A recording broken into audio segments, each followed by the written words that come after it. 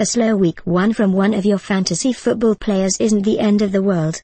Some stars will make up for the opening weeks left down with a much better routing the second time round. This isn't to say their week one flops were flukes. There's legitimate concern for all three aging stars discussed below, but the iron is hot for a strong Sunday showing.